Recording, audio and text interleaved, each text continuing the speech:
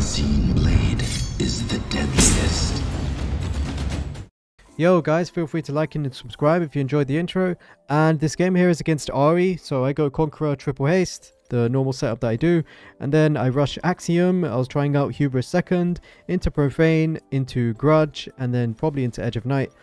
But yeah, um, against Ahri, usually you want to go Electrocute, but this season, or Splits rather, I haven't been having much success with it, and I just don't like the rune in general. So I like going Conqueror, and yeah, let's see how this game went. So I end up going for this ward at 120 because I had control over the right side bush. As always, be careful um, going for this ward because if their support is in the bush next to it, then you could get like poked down. You know, they usually let you walk forwards and then they poke you down a bunch as you walk away. But right here, it's just a classic Zed versus Mage matchup. But against Ahri in specific, you have to stand a bit further out from his auto attack. So like I'm standing right here, this is a good range to stand on. Because his W will give him movement speed, so he can walk up and use auto attacks. And you want to make sure you can't let him, uh, especially auto and then W and auto. You don't want to let him do that, so yeah. And use your Q defensively for when he walks up. You can hold your Q, and then when he walks up to try and W, you can Q right before he reaches you and your auto attack, or his auto attack range. Because what Ahri really wants to do is just to walk up and then use auto, W, auto, uh, especially level 1, so you can kind of use that against him with your Q range. But in general, as you can see, it's just the classic matchup where you can't really play too aggressive. You want to farm, you want to just chill and wait for first recall. And here, I probably shouldn't go for that CS because I end up taking more poke than I should. And that's a CS that I should uh, concede, so it's good to be wary of that kind of thing. In the early game, it's all about choosing which CS to concede and which ones to go for. Um, so you don't take too much damage, because the goal is to get at least, I would say 650 gold, or if you're going Eclipse, you can go 700. Okay, wait. Let me just see. Okay. Basically, what he did there, he used Charm already, so I can go up and use my Ignite, and then use WQW, and then my Qs come out faster, so his Flash comes out a bit late, so that works out well. And then right here, um, I have to just hold the wave. I know he's going to flash and TP, so I start pinging my jungler to come and help me, because this is a free kill especially because I'm going to get level 4, which makes me a lot more powerful uh, compared to Ahri. I just need to make sure I don't take poke before he ganks. So I place the W and I hit the EQ, and I start pinging on my W. So that's something you should do when you know that your jungler is coming in. You can use a W preemptively just to get a good position and like shove the enemy towards your jungler. So right there I did it on the left to shove my the Ahri back to the right and we kill him like that. And this early game ends up going pretty well.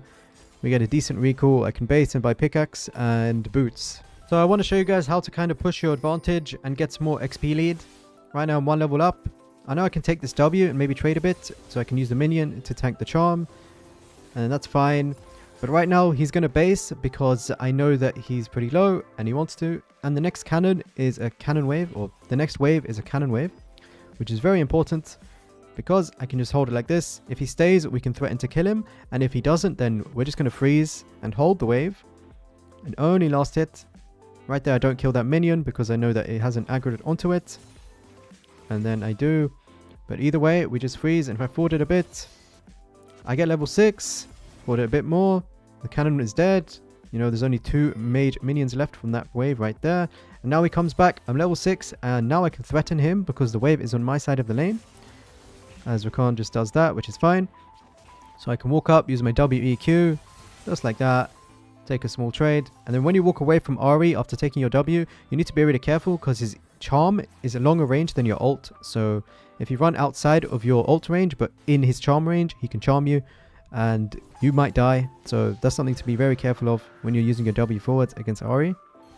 But yeah, as you can see, I'm just like, you know, slow pushing the wave, Right here I can push this one because I see Kha'Zix on the grubs. And yeah, so if Kha'Zix wasn't on grubs, I'd probably threaten a lot harder onto this Ahri. And just you keep using WEQ and slowly pushing it in without hitting the wave. And that's kind of a way to play and like bully the mages or bully champs that you're ahead against.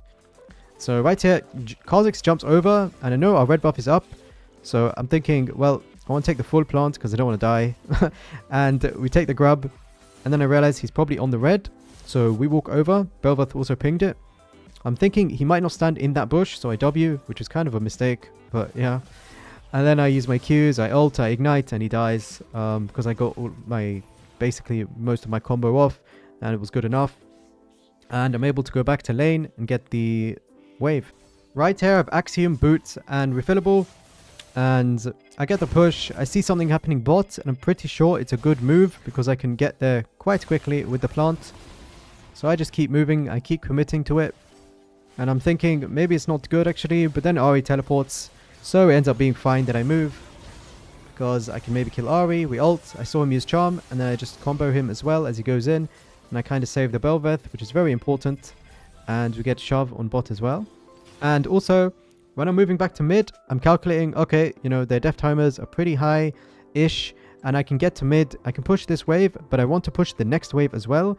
You know, just pushing this wave is not enough because the wave is already settled for about, you know, 15 seconds or something. So we now want to push the next wave right here. And I knew I had enough time to shove it in. And a rookie mistake after doing this is taking the plating when I already need to base because I've overstayed quite hard. So if I walked up and tried to take the plating, Ahri would have seen me, would have cancelled my base, etc, etc. So don't be too greedy to get the platings and make sure you just give them up if you need to. So right here, I get a bit impatient because I'm like, I don't want this guy to get the cannon, so I'm just going to ult him. and then he uses Charm, and I'm like, okay, well, there's still a way to kill him, perhaps, if I take my ult Shadow I use my W forwards to hit two Qs. Then if he walks on my E, which he does, I have conk stacks, so I take the W, I flash, I auto, and then I Q as it's coming up, spam it as soon as possible because he hits the charm on me, and I'm able to Q before um, the charm hits, which is great, and we get a kill. And we get the shove, Kha'Zix is bot, so we know that we can hit the tower and also get a plating, or two. Right here, as I'm pushing, I see Kha'Zix on the Hextech gate go by, so I saw him appear on the thing, and then I looked, and I was like, okay, that's pretty free. He's probably taking red again. And I'm thinking, oh, this is kind of deja vu. I'm thinking, oh, maybe I need Ornn. But it's fine. We just WE, we Q, we take the red buff first. So we make sure we can secure that and he doesn't get too much XP. Then we use our Qs on him right there after his E. And as I'm coming back to mid, I'm thinking about how to kill Ahri. Because I have a lot of haste, maybe I should start using WWE. So I just WWE and then I Q.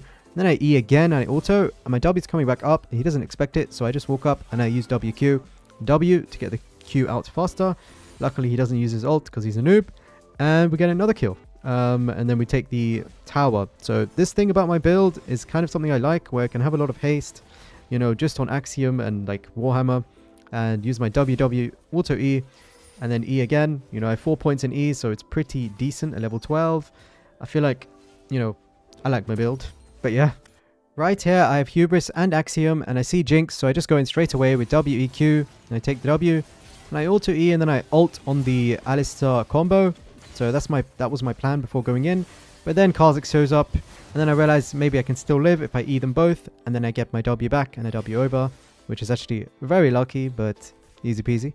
Right here, I'm shoving mid, and I know that Ahri is coming from the right. I'm pretty sure he has an ult up, so I'm just going to use my W there, walk out the bush, and then take my W, use Q.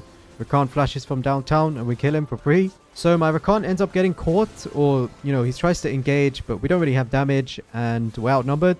But also, I kind of still want to fight because we should still be strong as a team. But as I'm walking up, I'm thinking, okay, this is a really good one ult position. But then I realize, oh wait, his ult is down, which is really bad for us because he's just going ham. And I know that I'm going to probably die. but the Malphite ults me, and then I use my W back. I ult the Kha'Zix, and I realize he's going straight for me there, so I just flash after. He flashes on me, so I just take my ult shadow, and I take my... Yeah, I just auto E and then run away. Somehow I'm able to survive, which is kind of crazy. Uh, I think the Alistar saved me by hitting me away. And yeah, we basically kill a bunch of people. Right here we're sieging, so I'm just chasing down the Ahri. I'm like, come here. And then he ults. But I'm thinking we could probably still kill her because she's trying to Q the wave. Then we ult onto her like this. And then we chase her down. Then we kill her. We take some towers. And I'm like, I don't want to end. So I'm just going to run away. I want this game to continue. But then nothing really much else happens. And we're pushing to end the game. On ult. But, you know, you want to stay really, really careful. And play really, really slow when you're at the Nexus towers. You don't want to tank and dive towers like Rakan is doing right there. Just want to do it nice and slowly. But yeah, we basically end the game. I use W, I ult on Jinx, and then I flash away from the Malphite ult, or I flash in and then I ult out, and the game is over. So thanks so much for watching, and I hope it was useful. I'll see you in the next one. Peace.